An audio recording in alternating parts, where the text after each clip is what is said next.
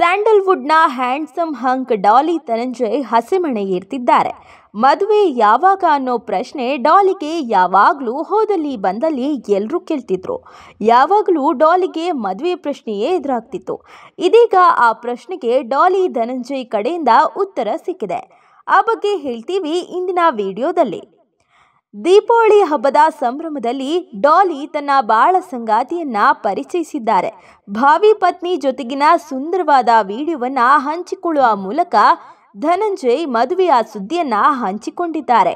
ಡಾಲಿ ಯಾರನ್ನ ಮದುವೆ ಆಗ್ತಾರೆ ಅನ್ನೋ ಕುತೂಹಲ ಅವರ ಅಭಿಮಾನಿಗಳಿಗೆ ಇತ್ತು. ಹೌದು, ಧನಂಜಯ್ ವೈದ್ಯನ ಕೈ ಹಿಡಿತಿದ್ದಾರೆ. ಡಾಲಿ ಮದುವೆ ಆಗ್ತಿರೋ ಹುಡುಗಿಯ ಹೆಸರು ಧನ್ಯತಾ. ಗೈನಕಾಲಜಿಸ್ಟ್ ಆಗಿರುವ ಧನ್ಯತಾ ಡಾಲಿ ಕೈ ಹಿಡಿತಿದ್ದಾರೆ.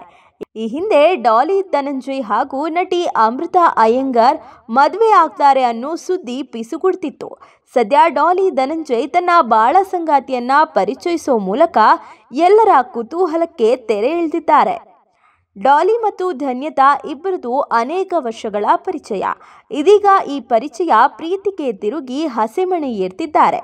ಚಿತ್ರದುರ್ಗ ಮೂಲದ ಧನ್ಯತಾ ಅಪ್ಪಟ ಕನ್ನಡತಿ. ಓದಿತು ಮೈಸೂರಿನಲ್ಲಿ. ಅರಸೀಕೆರೆ ಮೂಲದ ನಟ ಧನಂಜಯ್ ಓದಿದ್ದು ಕೂಡ ಮೈಸೂರಿನಲ್ಲೇ.